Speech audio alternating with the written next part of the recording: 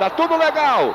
Parou a zaga do Corinthians, Miller puxou, pintou, Ronaldo bateu. Gol!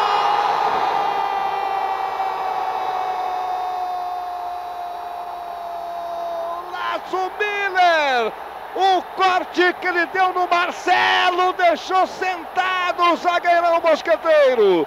Clareou, ganhou. Veja a festa da torcida tricolor. Bateu em diagonal e colocou no canto esquerdo de Ronaldo.